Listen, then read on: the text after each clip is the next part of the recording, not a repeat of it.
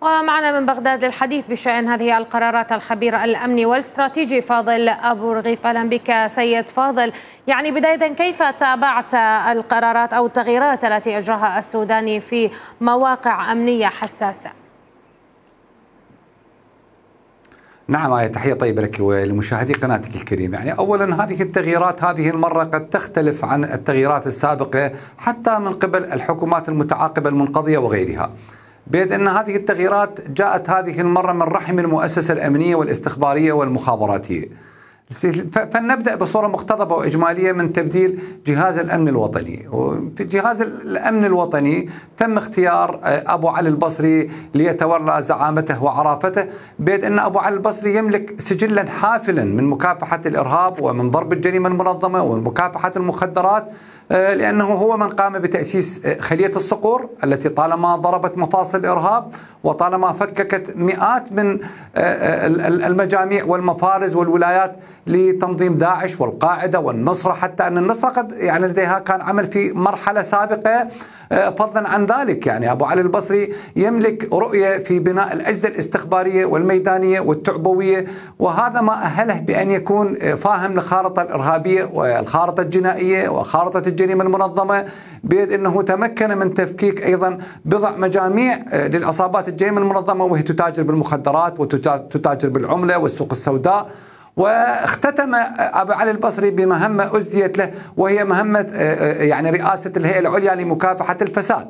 حيث إنه ابتعد عن الجو الإعلامي والشو الإعلامي وقام بالقاء القبض على آه، بعض يعني بعض الشخصيات النافذة وقام باسترجاع أموال لخزينة الدولة والقى القبض على مدراء مصارف، على مدراء دوائر، على مدراء تقاعد، على مدراء بنوك، على مدراء آه، آه، يعني آه، بعض الدوائر خصوصا فيما يتعلق بالتقاعد وبالأراضي وبالعقاري وبالأموال فيما يتعلق بالبنوك.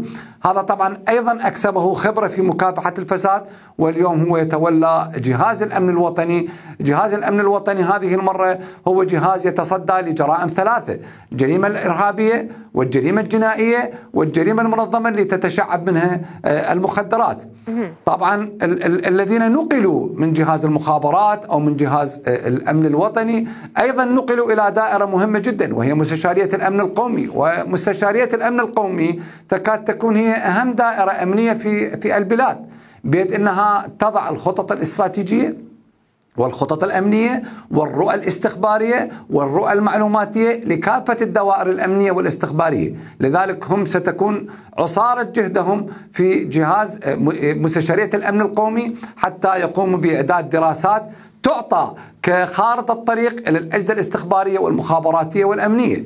طبعا الأخ حميد الشطري سبق له أن تولى رئاسة جهاز الأمن الوطني والرجل أيضا كان بارعا في إدارة هذا الجهاز وأعتقد أنه أعطى الكثير وحقق الكثير.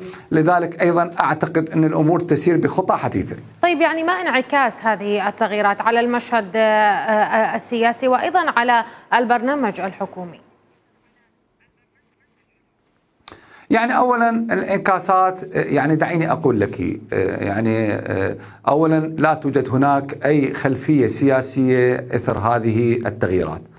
ثانيا هذه المرة التغييرات جاءت متسقة مع التدوير الوظيفي وضخ الدماء الجديدة وإعطاء زخم للخطط المستقبلية سواء كان على مستوى الأمن الاقتصادي أو الأمن الإرهاء الجنائي أو الأمن مكافحة الجريمة المنظمة.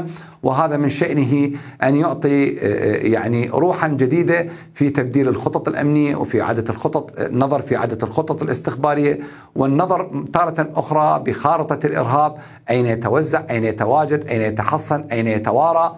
فضلا عن ذلك يعني آه، العراق يمر بانتعاش اقتصادي لكن يحتاج هذا الانتعاش لمكافحة آه، عمليات آه، الجريمة المنظمة من غسيل أموال من تهريب أموال من تلاعب بالعملة. فضلا عن ذلك يعني الأمن الوطني هو الآخر. ستكون إضافة لمهامه مكافحة هذه الجرائم. آنفة الذكر هناك أيضا مكافحة الفساد أيضا. ستزدى أيضا بأثر تقادمي وأثر مستقبلي لأبي علي البصري. فسيكون يعني وزيرا لجهاز الأمن الوطني وكذلك رئيسا للهيئة العليا لمكافحة الفساد التي ست يعني يعني ستأخذ زخما آخر وهو مدعوما من القوة الفريق التكتيكي والقوة الفنية والدوائر الفنية المعلوماتية والاتصالات أيضا في خدمة آه، آه، الهيئة العليا لمكافحة الفساد. ونحن إذا آه، يعني رؤية جديدة وقادم الأيام ستكون هناك ثمار سيكشف النقاب عنها لاحقا. طيب سيد فاضل يعني رئيس الوزراء السوداني تحدث عن تحديات تواجه الحكومة في الستة شهور المقبلة. ما طبيعة هذه التحديات؟ التحديات كثيرة. أول هذه التحديات هو انسيابية توزيع الموازنة إلى هذه الوزارات.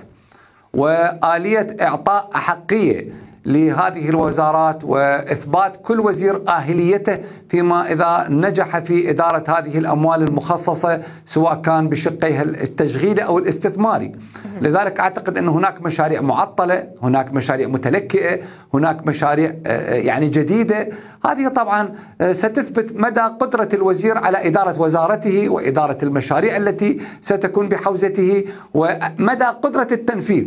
لذلك يعني آه، آه، الدوائر الرقابية سيكون لها دور بمراقبة عمل الوزارات وفضلا عن ذلك هيئة النزاهة ستراقب عن كثب آه، جميع هذه يعني انسيابية تدفق هذه الأموال هيئة النزاهة خصوصا مع تولي رئاستها من قبل القاضي حيدر حنون أيضا أعتقد أنه سيطلع بدور كبير جدا بمراقبة يعني تنفيذ السياسة المالية السياسة الاقتصادية بطريقة انسيابية تضمن تدفقها دون أي شبهات فساد قد تطال بعض مفاصل دوائر الدولة خصوصا المفاصل التي تعنى بالمال الذي يحتك بالمواطن بصورة مباشرة والعقود والمناقصات والمزايدات والعقود التي تدخل ضمن آه، آه، رؤية تشغيلية مستقبلية لتكون على الأرض. يعني لدينا خذي مثلا لدينا طرق وجسور. السيد السيد رئيس الوزراء يعني مهتم جدا بالطرق والجسور. الخطة القادمة الأنفاق والمجسرات الخطة التي تليها طيب. شق الشوارع الخطة التي تليها آه، بناء مساكن للسكن لأن هناك أزمة سكن ضاربة بأطنابها بكل أنحاء العراق.